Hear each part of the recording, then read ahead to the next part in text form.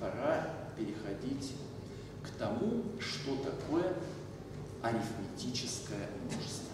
Собственно говоря, главный момент, почему я начал сегодня с понятия диафантового Потому что э, про диафантовое множество доказать намного сложнее, это долго была проблема Гильберта и так далее.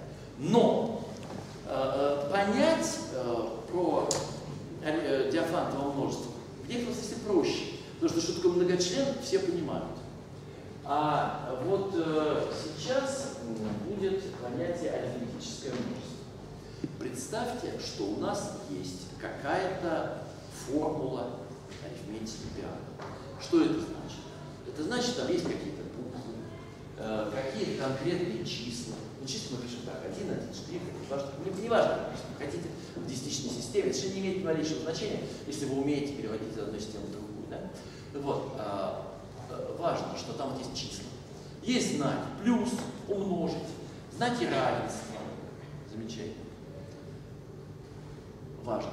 Кванторы, знаете, да, для любого и существуют. Всякие значки и, или, не, следует. Ну, они на самом деле через друг выражаются, как не обязательно все. Э, это не важно. Э, важно, что у этой формулы должен быть, для того, чтобы говорить именно про арифметическое множество, только один свободный параметр. Так, здесь э, очень что такое вообще свободный параметр?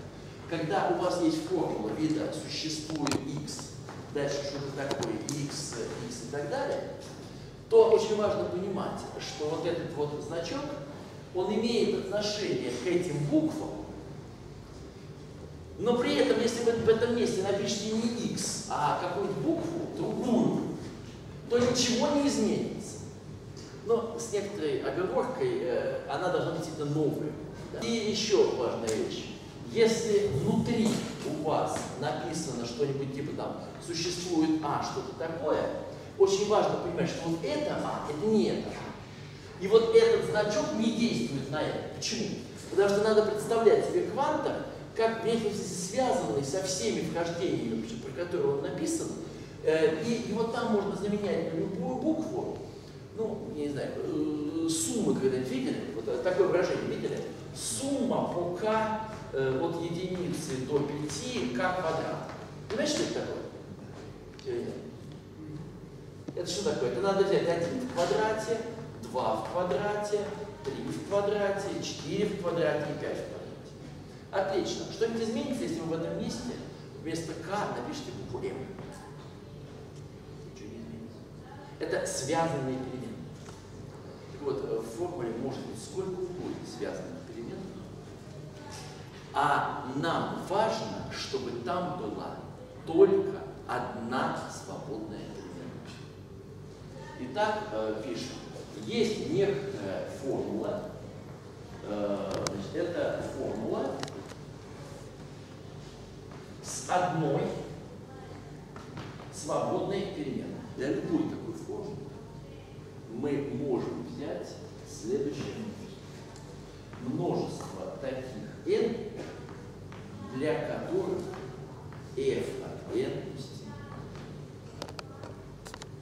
Ну, обычно, на самом деле, даже не пишет, если просто пишет. Э, когда вы подставляете конкретное натуральное число в формулу, то ее не остается уже свободных переменных, и это превращается в некоторые высказывания, которые или верны, или ложны. И вот такое множество как раз и называют множество соответствующее формуле f. Арифметическое множество. Фундаментально важным фактом является следующая лемма.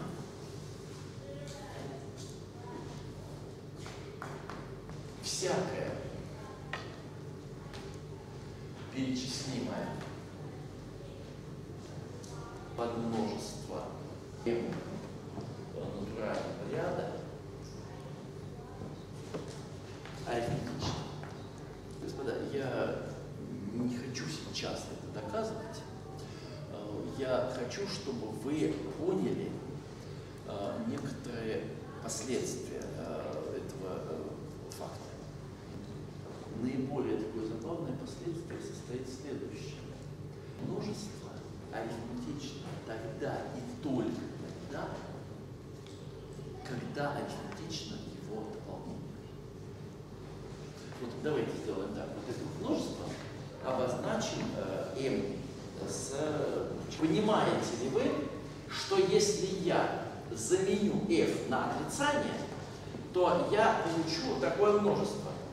Что значит не f от n э, истинно? Что это реально означает? Такая ложь.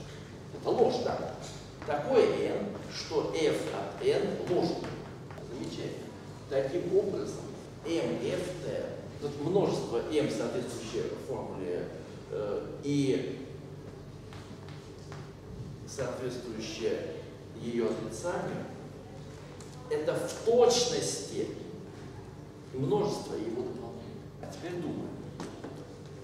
Дополнение к перечислимому множеству. Оно всегда перечислимо. Вспомните, сегодня этот факт обсуждался. Да. Нет. Вспоминайте. Существует перечислимое Дополнение к разрешимому множеству всегда разрешимо. Это правда. А дополнение к перечислимому.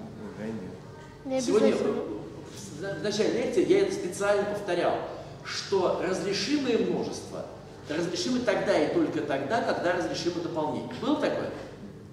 А у перечислимого не всегда. Если дополнение перечислимого множества перечислимо, то это перечислимое множество на самом деле является чем? Но мы обсуждали сегодня, что бывают неразрешимые. Поняли идею? Бывает неразрешимое, но при этом перечислимое множество. Э, Смотрите-ка, что у нас в результате этого получается. Э, Давайте в качестве вот этого множества возьмем именно такое. Вот э, пусть у нас вот э, множество вот, вот это, вот это множество является, нет, почему ложно? А где истина? Вот, вот это. Возьмем в качестве вот этого множества, мы же ска- сказали, что всякое перечислимое арифметично. Замечательно. Пусть вот это множество будет перечислимое, но не разрешимое. Давайте думаем, э, какой интересный факт это истории. У меня есть такая формула, да? у меня есть такая формула языка арифметики, которая обладает следующим э, замечательным э, свойством что теорему о том, что натуральное число обладает этим свойством, я, в общем, более-менее доказывать могу. То есть у меня есть э, компьютер, который такие числа выписывает. Но при этом у меня нет компьютера, который выписывает дополнение. Вообще-то любое натуральное число либо обладает свойством, либо не обладает. Правильно? Но при этом вопрос о том, что вот это свойство верно, значит, э, такой вопрос мы, в принципе, э, когда-нибудь дождемся ответа. А если же мы задали э, вопрос о числе, которое не обладает свойством, э, то нет вычислимого способа получить э, этот самый ответ. Ребята, пирамиды существует в нескольких вариантах. Э, Я вам сейчас рассказываю самый-самый-самый простой, э, потому что надо хоть что-то понять, чтобы что-то дальше двигаться. Да? Обратите внимание, я эту лему не доказал. Вот э, она, что называется, важна, она несложно доказывается, но это некая техническая возня. Я ее не доказал. Но предположение, что она верна, э, давайте уже, уже абсолютно строго э, докажем э, следующее утверждение. Здесь было написано, я уже заготовку сделал. Множество всех доказуемых утверждений перечислимо, Но для арифметики и любой теории, которая содержит арифметику, множество верных утверждений не перечислимо. Это очень, очень надо понимать разницу между доказуемыми из аксиом и верными, которые просто выполняются. Множество верных утверждений не является перечислением. Еще раз. Э, помните ли вы, почему множество всех доказуемых утверждений перечислимо? В конечном счете, потому что доказательство – это текст. Да? А про текст мы можем, так сказать, разбираться, и значит доказательство от доказательства мы различаем, это разрешимое множество, это понятно. Э, а перечислимое это потому, что как утверждение может длинное доказательство. Поэтому мы не можем гарантировать, что мы так сказать, переберем все доказательства. Все. Вот это, это очевидно. Множество всех доказуемых утверждений перечислить. Это у нас было очевидно. А вот теперь, почему множество верных утверждений не перечислили? Как это доказать? От противного, конечно. Предположим, что множество верных утверждений перечислили. Внимание! Если вы на верное утверждение навешиваете значок «не», то что вы получаете? Неверно. А? Неверно. Ужас в том, что любое утверждение, в котором нет никаких параметров, а мы же договорились представлять если единство параметров число, у нас речь идет только об утверждениях без параметров. Когда у вас есть утверждение, оно или верно, или неверно. Если бы множество верных утверждений было перечислимо, то множество их отрицаний вот они просто, э, у вас есть утверждения верные, навесили на них не, получили ложное. Навесили на любое ложное не, получили верное. Ребята, просто-напросто, если мы умеем перечислять все верные утверждения, то на самом деле мы умеем перечислять и все ложные. Для этого достаточно на ложное утверждение навесить не, когда-нибудь оно будет перечислено, значит вот его отрицание ложное. А если у вас множество и его дополнение перечислимы, Разрешимо. Поняли идею? Замечательно. Ну, оказалось, ну что? Ну, разрешимо. Множество всех верных утверждений разрешимо. Но, ребята, посмотрите, пожалуйста, сюда. Я специально сказал, рассматриваем множество, которое обладает следующим свойством. Оно перечислимо, а дополнение не перечислимо. Но интересно, мы же ведь узнаем, принадлежит элемент сюда или нет, потому это ложно или нет.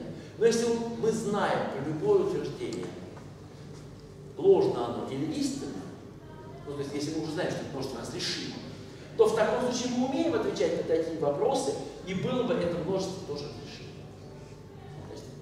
Еще раз повторю коротко идею. Если бы множество всех верных арифметических утверждений было бы перечислимо, то в таком случае его дополнение тоже было бы перечислимо. Потому что достаточно навесить отрицание и проверять, уж неверно ли отрицание. Замечательно.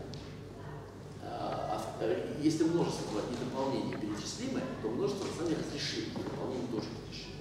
Но в таком случае у нас получилось бы, что оба эти множества являются какими?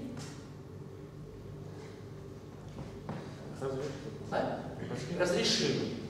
Что противоречит существованию э, перечислимого неразрешимого множества. Вот, ребята, это, пожалуй, самый такой быстрый, самый простой способ рассказать теорему Георгия э, Что я на самом деле в этом? Что всякое перечислимое подмножество арифметично. Потому что все остальное я более-менее объяснял доказательством, а вот это вот э, я объяснял без